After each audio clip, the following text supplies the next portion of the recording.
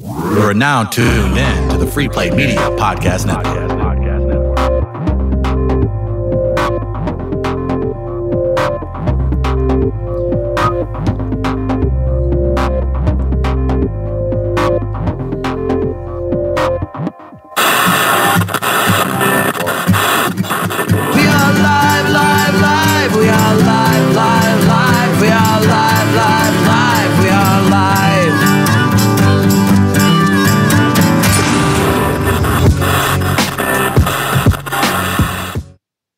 We're live. Chris Denman. I'm going to tell you about our guest here in just a second. Big thanks to Logboat Brewing, Barrel Beard and Tattoo Oil, all of our sponsors.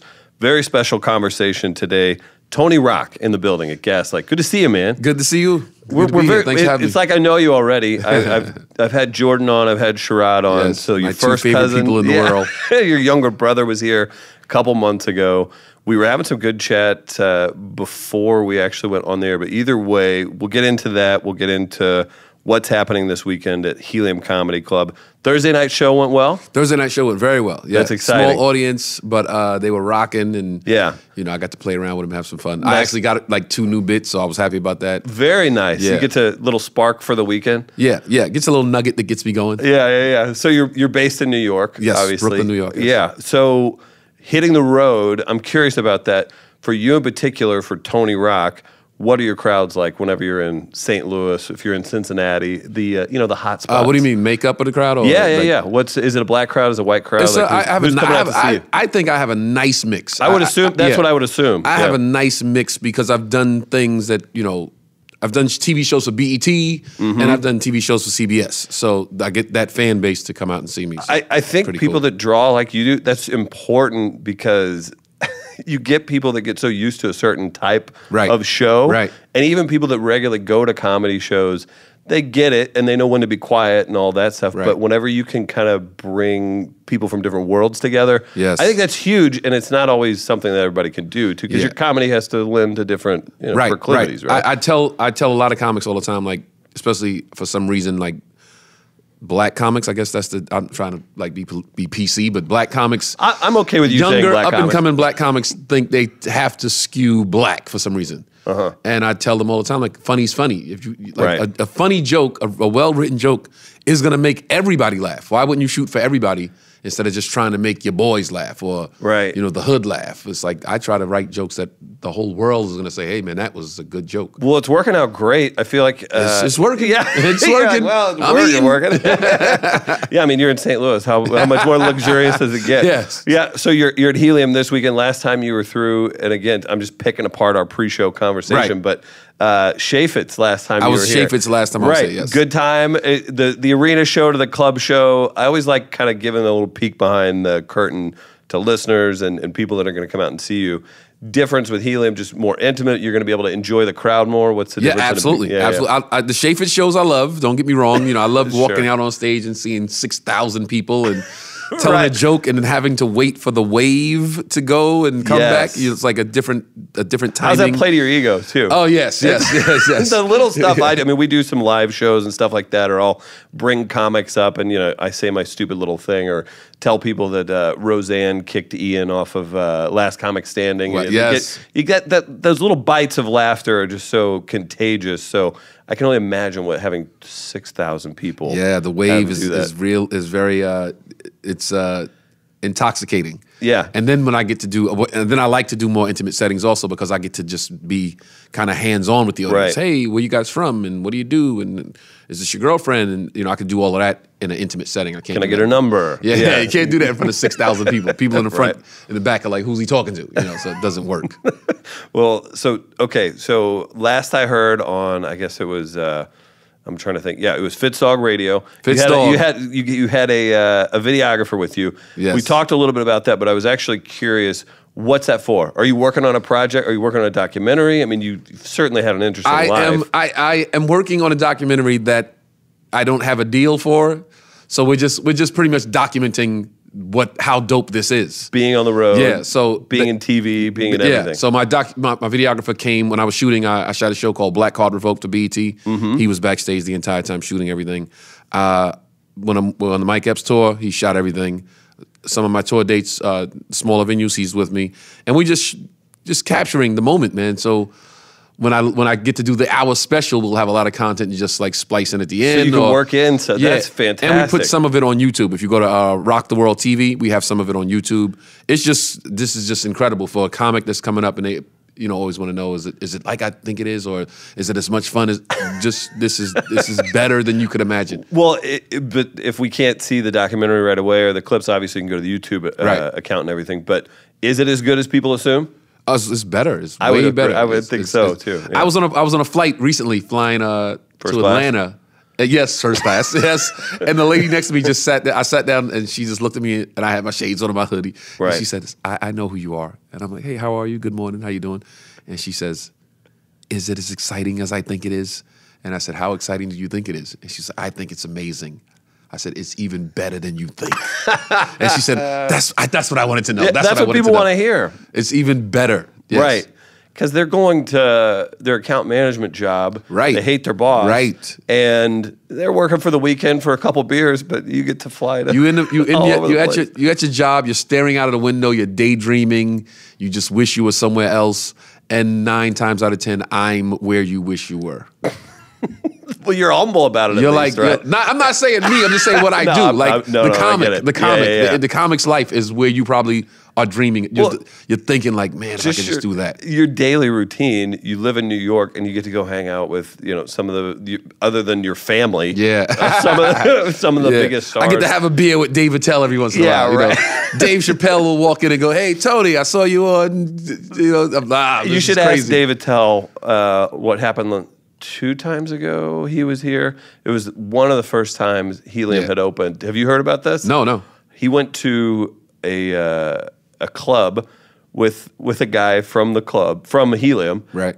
And the guy's a car- regular- a fan. Well, it was a it was a part of the staff. Okay, wait, staff. So they were hanging out. They were cool. Yeah. And uh, the guy's car got stolen at the strip club they went to. went to. So like, part of me like felt horrible for the guy. Part of me was like, you're in a strip club with Dave Attell, and then you got your car stolen. Like that's just a really fucking awesome story. It is an awesome Right? story, but if anything happens to you and you're at a strip club, you kind of. So you, your family's close. Yes. That's Well, like, some of us. Some, some of you, yeah. So I always, when I've been in those, either not necessarily even a strip club, just a seedy club, and you walk out and the sun's coming up. Yeah. I always think to myself, if I got stabbed in the stomach and just bled out right here, my mom and grandma, my dad and grandpa, my other the men in the family would you know stoically just kind of you know we're we're sad. Right. My mom and grandma would say, "Fucking knew it." Always, yep, exactly. We that's how we knew he'd go out. And Yeah, they, no. they have all the confidence in the world in me and support me, but it's that uh, that guilty. I, mean, I grew up Catholic, and they're like, "You were always up to something." If you?" I died in a strip club shootout, my mother probably wouldn't even cry. right, she'd be like, "Yeah, She'd saw be this like, one "Yeah, coming." that was that was it. it Didn't was clean his room. It was written. Strip club shootout. That's how I'm gonna die. It was gonna go down like that. Yeah. how's uh, how's New York with uh, the lack of strip clubs these days?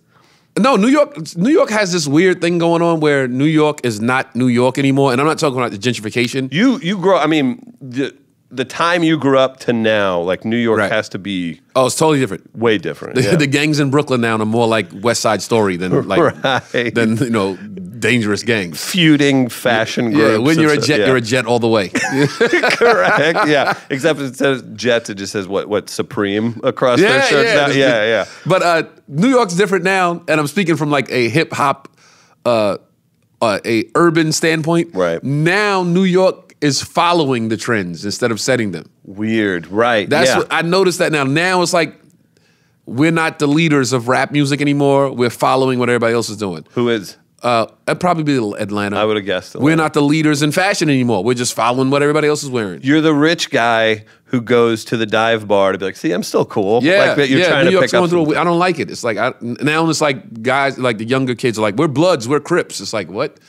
What? You're not- you don't That's- announce that. that, started buddy. in L.A. We didn't. That's not us. Well, why are we following them? Like, why are we following? We Right. follow us now. and I don't like it at all. Have you seen? Uh, I, I feel like maybe it's. I think our gang should be original. I agree. we should be killing on our own merits. Yeah, exactly. Hey, Italians, get back in the game yeah, too, yeah. man. Like we're Yeah. losing out on this. No, so okay, so I think with camera phones, with things like that, we don't necessarily see as many club fights or anything. You run in some pretty cool circles, some fun circles. I'm Yes. sure. Have you been a part of? Have you seen any?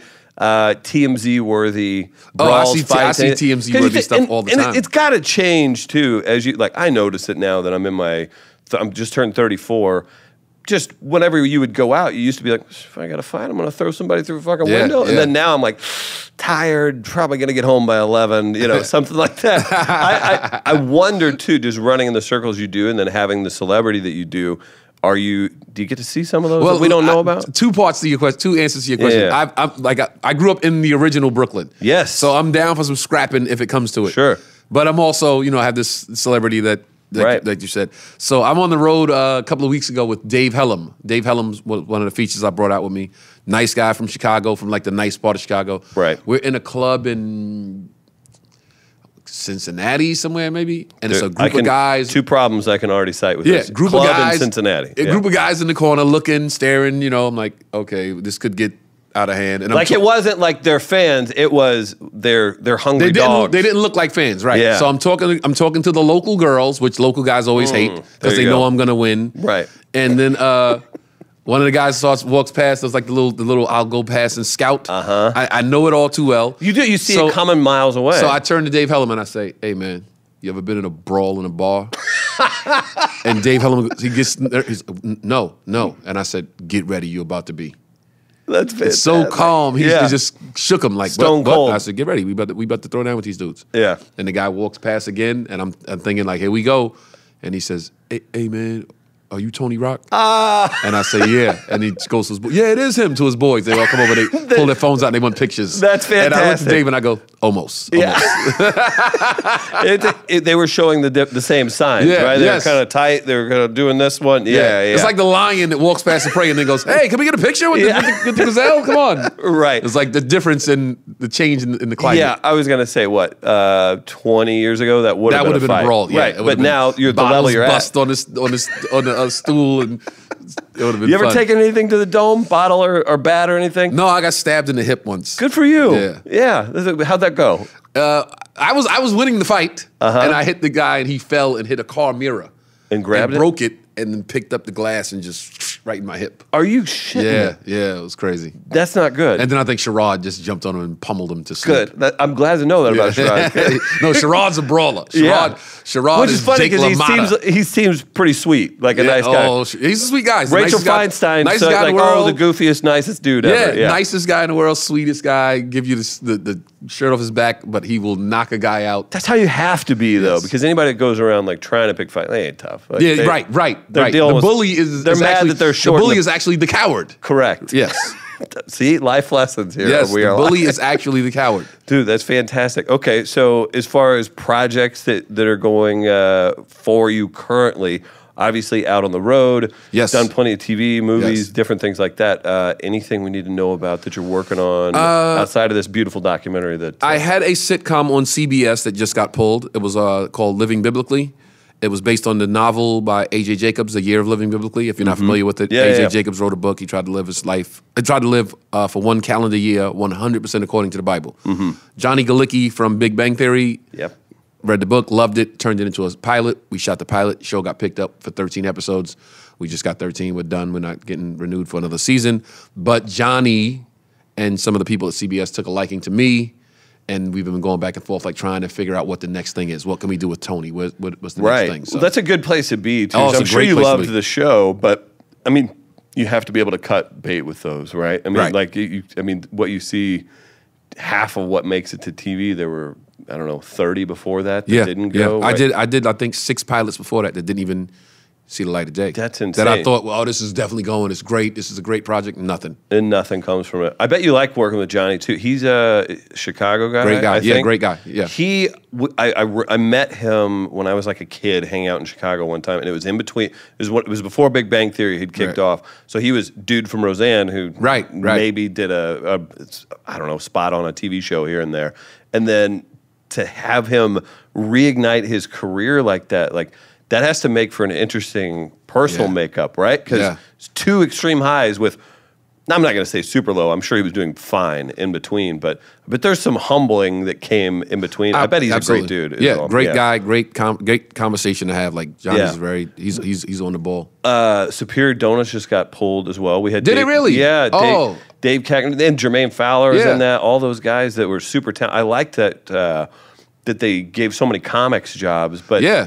It, it, it's Uh, the same thing where Jermaine, uh, Dave, uh, Maz Jobrani. Yep, Rell uh, Battle. Rell Battle. Yeah, Mhm, yeah. But and those are all super talented people that you assume are going to get other jobs. But I just find TV to be. I I don't even know if it's fascinating. Horrifying would be the word. That's what I want to do with my next sitcom. My next sitcom, if I get if me and Johnny are able to put something together, I just want to stockpile that shit with with comics. Yeah. Well, it's why not tap into people who are just eager to be Yeah. entertaining all Right. the time, right?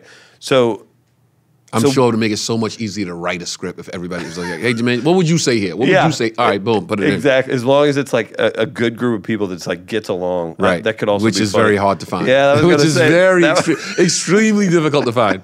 It would be funny too, to as you're documenting uh, behind the scenes of that, Right. A very dysfunctional group of com- like if the, all the people that do crashing, which there's what 750 comics Yeah. on that show, if they I'm all hated still each mad other, I haven't been on an episode yet. That's kinda bullshit. I'm still mad about that. I, I'm, I'm letting everybody know do you listening. think it's personal? uh, no, I don't think so. You got a problem with. Pete? No, I don't have a problem. with Pete, Pete Actually, was tweet- actually tweet that out. when we Problem did the uh, Pete, when we did the uh, when we did the table read for Living Biblically. Yeah. Pete was in the room, and the Oh, whole was he? time I'm like, oh shit, that's Pete. That's, Yeah. that's fucking Pete right there. Like, t- way taller than I thought. Yeah, he's like Super 6'5"? t- Yeah, you gotta let let people know that, man. You gotta give a disclaimer. I walk in the room like, holy shit, what? Right. I thought you were the soft nerd. Yeah. Yeah. and he does that. Uh, I'm curious too, since you're Play here. for Gonzaga. He- right? Yeah. He was he was a fan favorite at, at Gonzaga, right? He fits the profile with the, Exactly. Yeah, exactly. Uh, as far as uh, I guess recently, and we're doing this, we kind of have a speed thing. I know you got another thing to go to, but uh, Chris Hardwick, do you work with him at all, or have you worked with him? I have not. No, I found I've seen that- him at like clubs in L.A. Yeah, so maybe you don't have an opinion on it. I was curious. He just got swept up in, I guess it's filed under Me Too with an Really? ex. Did you see this? So an ex like spilled a bunch of um, of stuff from their relationship, basically that made him Right. look like a controlling prick. He's lost like they're kicking him off of Talking Dead, and this wasn't about What uh, did she? What? what what's she the, said it was basically he was controlling. He m- told her when they would have sex and all this stuff. Like, I, it kind of Okay, well, none of my girlfriends are gonna come out and say that. right. None of them. was- I'm not worried about that at all. It was. it was just a strange thing, and if you're not familiar with it, it doesn't really. It's not that important to get into. But I'm just. I, it, it's going to lead me to my question. where I'm being an scared that a girl's gonna come out and say some shit about me like that. even well. Can I curse? again- Wait, am I? Yeah, we're good. Yeah, You're I'm good, scared yeah. a girl's gonna, cause I've been drunk in clubs before, and I'm like, hey, what's up, yo? You know, I said some rude stuff, And if I- was if I under repurpose the that- guise of I'm trying to get some pussy, you know, right? Yeah, and that could be filed under he aggressively came. To, Right. No, no, they call, what they call it sexual aggression. Yo, everything, a, let me tell you something. Yeah. Everything a black man does to get some pussy can be filed under sexual aggression. Listen, black guys in the club, we grab girl, sweetheart, sweetheart, grabbing a girl's arm, Yeah. sexual aggression. Yo, blue dress, blue dress. Damn, girl, you wearing that dress, sexual aggression. Uh huh. That's what, that's like the whole fucking definition The is like, yeah. every black guy's like, oh shit, I'm going to jail. Short A, damn, ma, mm, mm, look at that. We in trouble out of here. right? All of that. So I'm I know I've done some of that. So I, I just hope they don't wait until it's like HBO inks Tony Rock for 20 fucking TV shows and it's like every girl just starts. He tried to kiss Yeah. Me in the club one night, which I did, which I did. I tried to kiss girls in the club that I didn't have consent to kiss. Sure. Damn, you so girl, mm, you smell good. Like, damn, is that you? You smell delicious. You smell like, oh my good. That's sexual aggression. Right. And again, too, like I get, I'm glad that assholes are getting outed Yeah. on this stuff. And but like somebody, again, like you said, what if you do ink that huge HBO project Right. you're doing on? Yeah. Is it? Uh, That's why I'm going to be forthcoming with all of it. So before I even sign, You put it just like- before I sign this, I'm gonna let y'all know. Listen, Yeah. I'm a dick. I've been an asshole.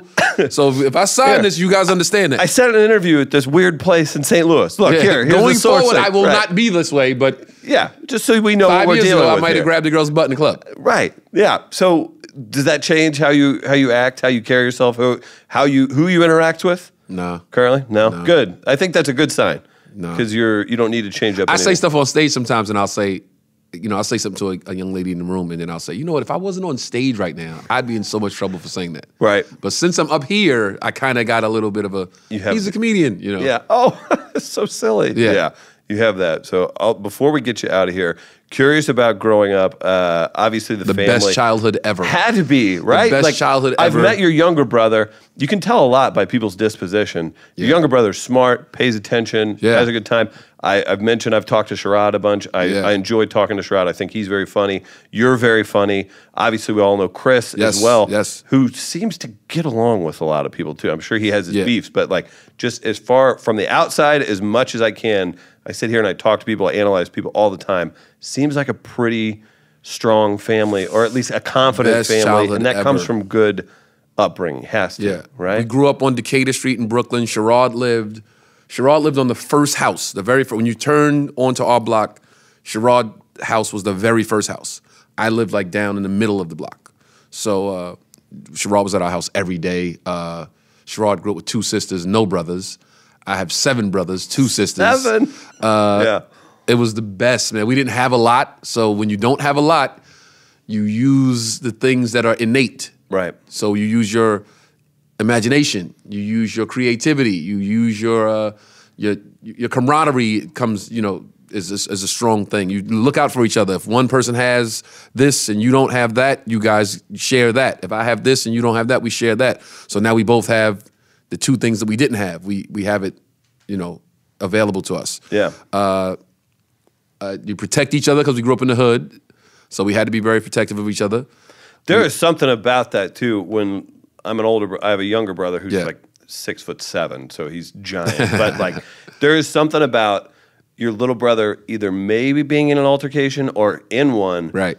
You take it to like there's a whole nother. You don't realize you have that rage Yeah, until yes, yes. you see that happening. Yes. You're like, oh, this is going to be really ugly. Yeah, right. and my dad always told us if one of y'all are in a fight, y'all are all in a fight. I don't want to hear. man. He would say, my father would, if one of us got in a fight, he would come home and my mother would tell him the story. He would call us all downstairs and say, okay, what happened? And like, if you were the one in the fight, you tell us, tell me the story. And while you're telling the story, he would stop you and go, so what did you do? Ah, What did yes. you do? Right. And it's like, oh, then I jumped in, and then okay, then I jumped in. He's like, okay, good, good, good. I don't want to hear you didn't do anything, and somebody was trying to beat up your brother. You gotta take it- you gotta take care of each other, Yeah. Then yeah. it turned into don't fight the Rock Brothers because you got to fight all of them. That's It's good. too many of them to fight. So then people would leave us alone. And we Coming out of the like, yeah. woodwork. Yeah, that was the best. I love it, man. Then we would sit on the stoop every Saturday. This is this is where the comedy comes in. Just to Yeah. a quick quick. Uh, No, synopsis. please, ta- so we take would, as much time. Saturday mornings, my mother would clean the house. We would do have to do our chores before we could go outside. So we would get up early, knock our chores out. We did be good for the day. Then my mother, you know, she would do dishes and mop and all that stuff. So she would say, "Get out the house so I can clean." Right. And we would go sit on the stoop, and we would sit on the stoop of our house uh, of, uh, on Decatur Street in front of our yard, and we couldn't go out the gate but we had to do something to entertain ourselves. So it was anybody that walks past, we're gonna snap on them. So it would be like, all right, you're up first, and then whoever walks didn't you have a past, documentary crew boom, then? Snap, was- snap, snap, just whatever. You're big, looking like. Look at your shoes, looking like, and it's the hood, so everybody isn't dressed nice, and people Sure. look kind of off, and some people are dirty, and there's crackheads, and Yeah. we just comedy, comedy, comedy. So then it became a thing where every Saturday, all the kids on our block would come to our yard and wait for us to come out, and we would Yeah. come out like, okay, who's getting it today? And like, Andre, you up first. Like, you're looking like your big hat looks like a damn sack of potatoes, and your mother looks like your father so fatty. And it was that's where it started. It was like we got That's an the audience spark of this in whole our yard. thing. Yeah. Yeah. That's amazing, man. So, if, as you guys have grown up, evolved, had your own individual careers, uh, anything negative that comes from having so many talented people in a family? uh, negative. Yes, we uh, You getting those texts? a- like a little bit of like I would say fake hate. Uh-huh. The fake hate, you know, uh, he just got it because of his brother. You know, uh, yeah, Chris put them on. Uh, stuff like, but I, I, that's negative. It's like it's That would be it's annoying. Like, it's like right off. We don't even pay it any attention. yeah, you can't really, too. can't- we don't pay it At the end of the day, too, you're in the profession where I've been doing stand up. Got it or not. I've been stand, doing stand up for over ten years. So if my brother made some phone calls to get me in, I would have been exposed a long time ago. too late now, right? if yeah. Jordan was being passed along, he wouldn't be where he is now. He wouldn't be if he was just like, oh, let's put him in. It would have been exposed a long time ago. And you wouldn't have. This is the thing that that will tell you, let you know the telltale sign. I wouldn't have the respect of my peers like I do. Correct. You're hanging out with the the Yeah, elite. They wouldn't say like, man, that guy's yeah. Well, and it's not, again too. You'll see it too, and I'm not trying to pick on Saturday Night Live, but you'll see people who have been in movies or famous TV shows that come through that can draw a huge crowd, or Right. just they're known for something. Being Chris Rock's younger brother isn't going to sell out Right. a club Right. four nights in a row, Right.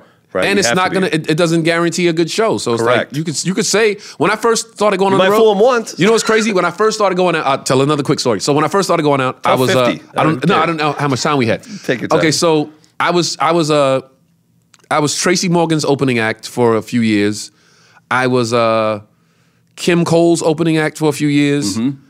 I was um, John Witherspoon's opening act. So we would do shows in like, you know, Bananas in Jersey and like South Jersey, like little comedy clubs where they could, Sure. you know. And I remember when I was opening for Kim Coles, I was uh I had a tight 10, 15 minutes, whatever they needed me to do. It was tight. It was strong. So after the show, the girls, the young girls that were in the room, were like, we want to get a picture with Tony, with Tony Rock. We want to get a picture with Tony the other people would wait for Kim. So I'm in the back backstage, like, oh, oh shit, they want to take pictures with me, okay? And I would go out, and the comedy club owners kind of saw like, hey, he's getting his own little draw Right. off of their shows, off of Tracy's show, off of Kim's show, off of John Withers. So we'll bring him back to headline. We'll bump him up to headliner and bring him back. But what the the bill literally the bill was June fifth through eighth. Chris Rock's brother, Tony Rock. Damn. That was because that was And you the- weren't putting yourself up. I was that. not. Yeah, no, yeah. hell, never. No. But they knew we could get asses in the seats like that. Right. And comedy club owners don't really care about the art of stand up comedy. Sure. They don't care about nurturing the craft. They just care about two drink minimum and Keep the tickets at the door. Yeah. Right. So I, I got it. I knew what it was. But then once I, people started coming out to see me and realized, oh, he's nothing like his brother, has his own voice, he's actually a pretty good comic. It was like comedy clubs were like, you know what, we don't even need to do that. We can just bring him in as Tony Rock. that but that's when I started going on the road headlining. It was Chris Rock's brother. That's, that's, It was the worst shit ever. Yes, it was the Expectation. It was the shittiest fucking poster. I'd never kept any of them. Uh. I think, man, you need to get a copy of those for the documentary. Yeah. I do, like I to do, show I do, where you've come Yes, from. Though. yes, I do. Oh my gosh, Tony Rock at Helium Comedy Club all weekend long, dude. So much fun. Yes, thank you so much. Thank you. Appreciate Thank it, you guys. very much. Go see Tony Helium Comedy Club STL.com. You can see him all weekend long. Thanks, guys.